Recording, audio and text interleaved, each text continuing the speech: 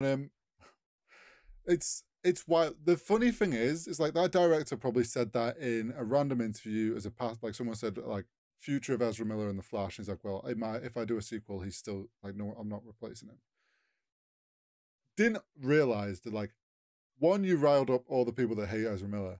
Then you riled up just the comic fan, book fans that were like, imagine being Warner Brothers wanting to stand behind a man with several lawsuits against him, but then they got rid of Henry Cavill as Superman, which is like, besides the fact that like the Henry Cavill situation is like completely different, and I'm pretty sure he has this Warhammer project that like was the real reason he went away.